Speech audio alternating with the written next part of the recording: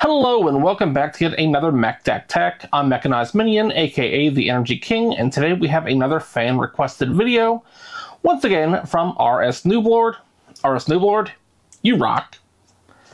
Uh, but today we have Corrupted Memories, helmed by none other than Kianne Corrupted Memory, uh, which is the backup commander from, I think, Jump Scare from the Duskmourn set. Let's go over them, shall we? So, Kianne Corrupted Memories is a 4 cost 2 2. I know what you're thinking. Mac, those stats are bad. Hold on a second.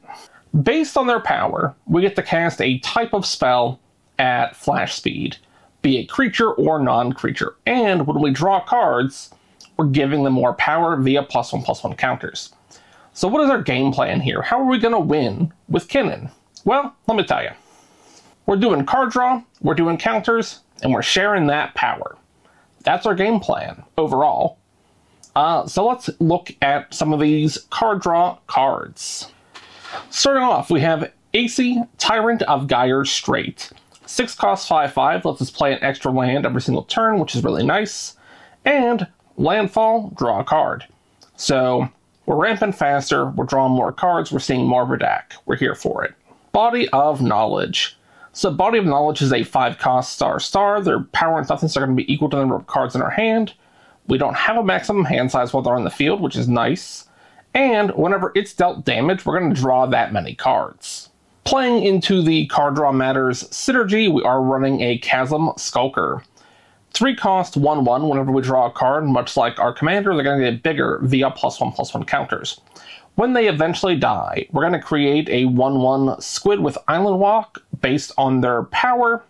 Or not based on their power per se, but based on the number of counters, which is just one less than their power, generally speaking. Following them up, we have Glade Muse. So, Glade Muse is a 2 4 beast for 3 mana. Whenever a player casts a spell, if it's not their turn, that player gets to draw a card. So, this really encourages us to kind of save our spells to kind of go back and forth casting them mainly on our opponent's turn and really taking advantage of the fact that we get to cast spells at flash speed. Sticking with that card draw synergy, we are running Minn Wily Illusionist, a 1 3 for 3. Whenever we draw our second spell for turn, we're going to be doing it pretty often. We're going to get to create a 1 1 illusion who gets plus 1 plus 0 for each other illusion we control. When those illusions die, we get to cast a spell for free based on that illusion's power. Nezahal Primal Tide follows that up a 7 7 for 7, which can't be countered, gives us no maximum hand size. Whenever an opponent casts a non creature spell, we're going to draw a card, and we can discard three cards to effectively flicker Nezahal Primal Tide to protect them at the end step from any kind of board wipes, anything that would really just sort of, uh, you know, throw a wrench into our machine. Of course, we're running Simic card draw, and so you know we're kind of casting that a little overpriced, but still super good, especially for this deck. Prime Speaker Zegana. So 6 mana, 1 1 is going to enter with X plus 1 plus 1 counters, where X is the greatest power among creatures we control. And I assure you, by the time we're ready to go ahead and cast the Prime Speaker, our commander is going to be plenty strong. Well, at that point, we get to draw cards equal to Prime Speaker Zegana's power. So we're effectively doubling our commander's power and drawing just a ton of cards. Tatyova Benthic Druid, you know them, you love them. A 3 3 for 5 with landfall, draw a card, gain a life. 20 Toed Toad. Try saying that 10 times fast. But they are a 3 3 for 4, so not bad. We have a maximum hand size of 20 it is important to know that timestamps will apply when you have multiple effects that determine the maximum size of your hand, but the difference between no maximum hand size and a max hand size of 20 is fairly negligible in terms of this deck. Uh, but whenever you attack with at least two creatures, the 20 Toed Toad is going to get a plus one plus one counter, and we're going to draw a card. Whenever it attacks, we win the game if it has at least 20 counters or we have 20 or more cards in hand. So a nice little alternate win con. They're sitting around like the $4 mark, and I feel like they're going to fit right at home here, you know, with our commander. Wavebreak Hippocamp. So a 2 2 for 3. Whenever we cast our first spell during each opponent's turn, we're going to draw a card. So, really, just again playing into the fact that we have flash speed on our opponent's turns to help us out and it's going to feed us card draw, which is going to affect, you know, how big and powerful our commander is. It's a good time all around. Zameck Guildmage. So this is a 2 2 for 2. We could pay Simic so that this turn, each creature we have entering the battlefield will do so with an extra plus 1 plus 1 counter. Little nice, little nice. Or we could pay Simic to remove a plus 1 plus 1 counter from a creature to draw a card. So both effects are great. We have a lot of other creatures that are coming in with these counters and ways to manipulate them all the time. So, you know, I think we really have a lot of good value there. Moving into some spell and card drawing, we have Enter the Enigma.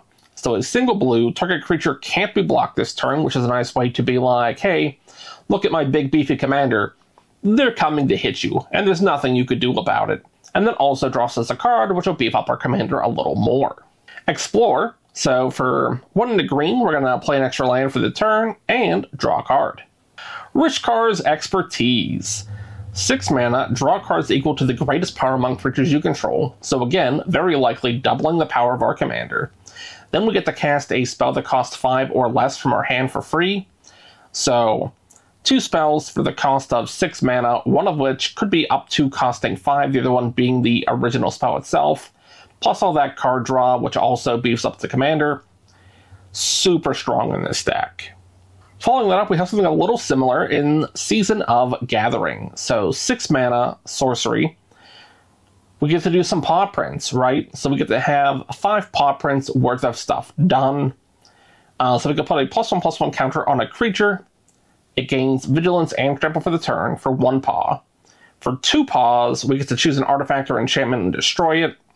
Or we get to choose, rather, artifact, or enchantment and destroy all permanents of that type. Or, for three paws, we could draw cards equal to the greatest power among creatures we control. So, in my mind, ideally, right, we're passing out the plus one plus one counters to two of our big beefy creatures. They're going to gain vigilance and trample, allowing us to really pack a punch. And then we're going to draw cards, once again, doubling the power of our commander for the turn. Urban Evolution.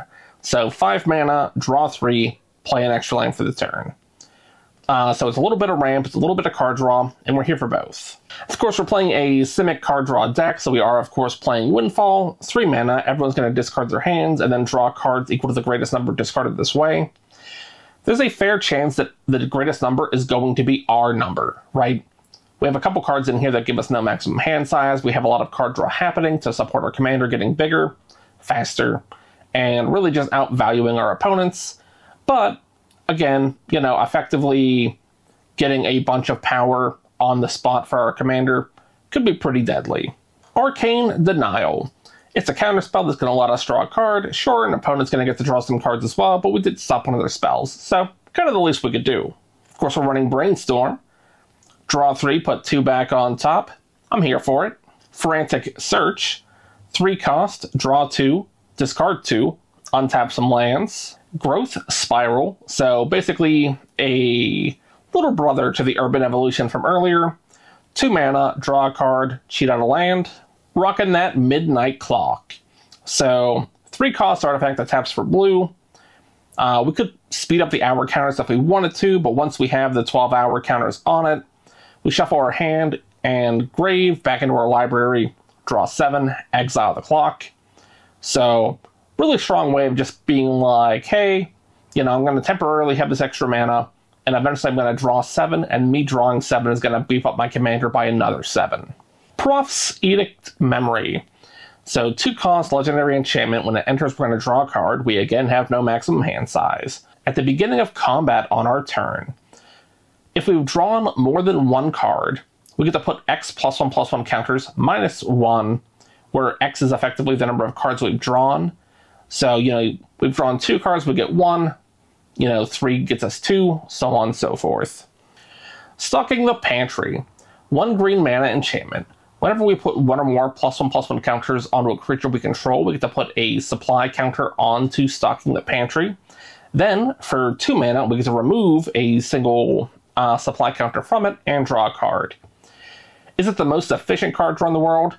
No, probably not but I still think it's pretty decent here for the budget build. Teferi's Ageless Insight is going to follow that up. So for 4 mana, we get a legendary enchantment that when we would draw a card, aside from the first card we would draw on each of our draw steps, we're going to draw two instead. So super strong. Everything that has you draw multiple cards is actually several instances of draw a single card uh, based on magic rules, to the best of my knowledge. So effectively, hey, double your card draw, which means double how strong your commander is getting every time you're drawing cards. It's all good. Tribute to the World Tree. So Tribute to the World Tree kind of does uh, two things we're looking for, right? It's a three green enchantment. If a creature enters the battlefield, if it has at least three power, we're going to draw a card. Otherwise, we're going to give it two plus one plus one counters. So we're passing out plus one plus one counters to our board of small weenies, and whenever we have anything that's a little large and in charge kind of hit the board, we're going to draw a card for it, which is going to pop our commander. Last of our card draw matters is Wizard class. So single blue to play, no max hand size. Again, we love this. For two and a blue, we can level it up and draw two cards. Then for four and a blue, whenever we draw a card, we get to put a plus one plus one counter onto a target creature we control, which could be our commanders just effectively double up on that effect, or it could be any other creature on our board. We could spread the love around a little bit. Entirely up to you based on the game state you find yourselves in. Let's move on in to some plus one plus one counter synergies. We're in Simic, we're doing plus one plus one counter stuff, we're running Simic Ascendancy. It's very possible in my mind to basically play this, play a big draw spell, have the 20 counters on it, and it's like, cool, remove it by next turn or kill me, or I will win. Right? How much enchantment removal is your pod playing? Probably not as much as it needs to to be able to deal with this on the spot. Hydra's Growth. So Hydra's Growth is an enchantment for two and a green. It's going to enchant the creature, give it a plus one plus one counter. Then, at the beginning of your upkeep, it's going to double the number of counters on that creature. So again, really just makes our commander shoot up in terms of like how strong they are. Hardened Scales, single green, basically just a little bit of extra plus one plus one counter synergy on top, so just a little extra one, but still pretty good. Hadana's Climb. So this is three mana, one in a Simic. Beginning of combat in your turn, you get to put a plus one plus one counter onto a creature of your choice. If that creature has at least three counters, you transform the climb into the Winged Temple of Orazca, which taps for a mana of any color, which is fine, but really we're here for the second part, which is for one in a Simic and tapping it. A target creature you control is going to gain flying and plus X plus X for the turn, where X is its power. Again, how much flying, how much reach is your pod playing? Probably not enough. Court of Garenbrig. So two and or one and two green rather. Enters you become the monarch. A little bit of card draw. We could have actually technically hit on this during the card draw section. That's okay. Beginning of your upkeep, you're going to put two plus one plus one counters on up to distributing them to one or two creatures. And then, if you're still the monarch, you get to double those counters. Um, so super strong for us. Branching evolution, uh, basically a doubler for your creatures. Uh, so for two and a green, if one or more plus one plus ones would be put onto a creature, twice as many instead. Ozolith, the Shattered Spire, one in the green, gives out just one extra, but still pretty nice. For one in the green, you could put a plus one plus one counter onto a target artifact or creature. Uh, we could do that at sorcery speed. We could also cycle it away for like, oh, I really don't need this. I'd rather have the card draw.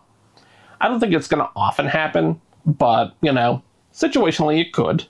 Zimone's Hypothesis. So three and two blue, you could put a plus one plus one counter onto a creature, then you choose odd or even.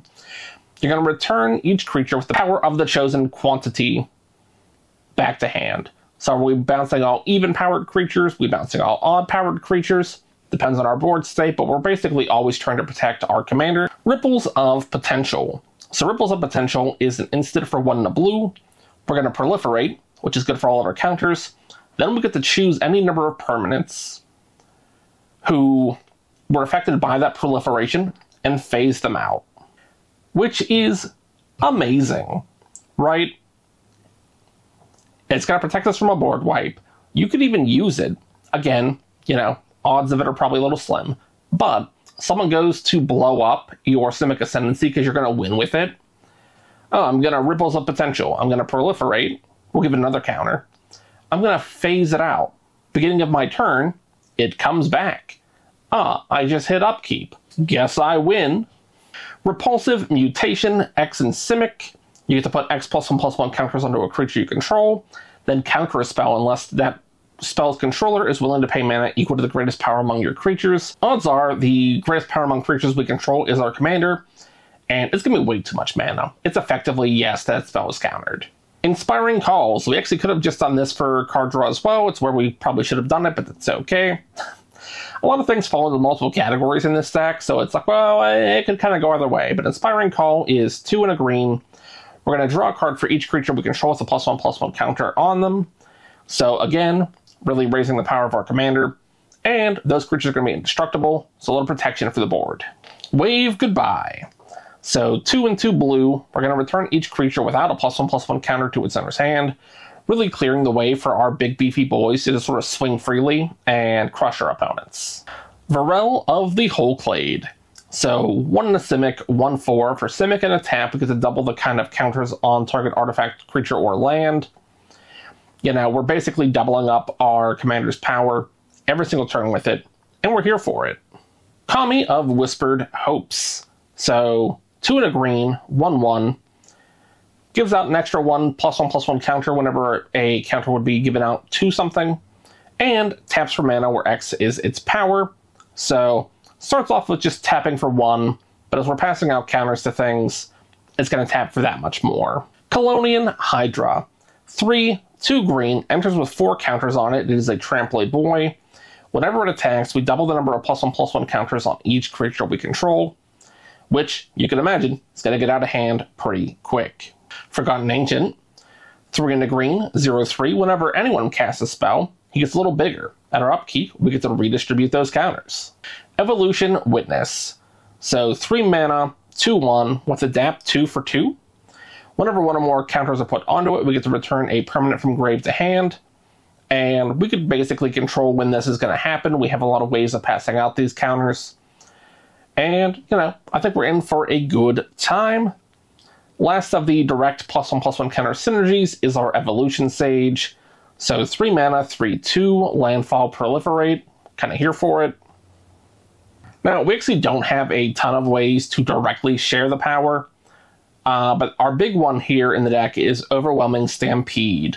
Five mana, all of our creatures are going to get plus X plus X trample, where X is the greatest power among creatures we control, and you better believe this is a haymaker. We're taking everybody out at once. That actually leads us down into some honorable mentions. Things were just a little too expensive to include and tell everyone to run out and buy. Um, but are good nevertheless. Right, if you have them, use them.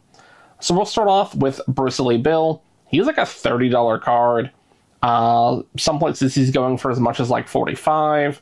Two mana, landfall, put a plus one plus one counter onto a creature. 5 mana, double the plus 1 plus 1 counters on each of your creatures. Super strong if you have it, run it. Craterhoof Behemoth. Uh, so, again, it's like a $35 card. It's just too expensive to tell everyone to run out and buy. But effectively does the same thing that the Overwhelming Stampede does for us. Triumph of the Hordes. Four cost. Every creature you control is going to get a plus one plus one trample infect. And again, with how big our board is getting from these plus one plus one counters, odds are you're just killing the, the, the whole table at that point. The Great Henge. So, again, just too expensive. Uh, looks like it's sitting around like 50 to 70. Um, but it's mana ramp, it's life gain, it's counters, it's card draw. It's literally everything we want, but it's too expensive to tell everyone to run off to go pick it up. Of course, you know it, you love it. It's the Ozolith. Again, too expensive. 35 bucks, but a good way of being like, hey, if you remove my commander, you slowed me down, but I'm certainly not out. As soon as I bring them back out, the Ozolith is going to pass those counters back out for me. Innkeeper's Talent, little over budget in terms of like keeping it around the $10 mark. It sits around like the 12 to $13 range right now. But each of the modes uh, for this class are great. Uh, but as always, I'm Mechanized Minion, the Energy King. If you enjoyed the video, felt like you got a little bit of value out of it, go ahead and like, comment, subscribe. Ring the bell to ensure you never miss an episode. Consider joining the Discord. There's always a link in the, uh, the description down below. But until next time, good luck with your builds.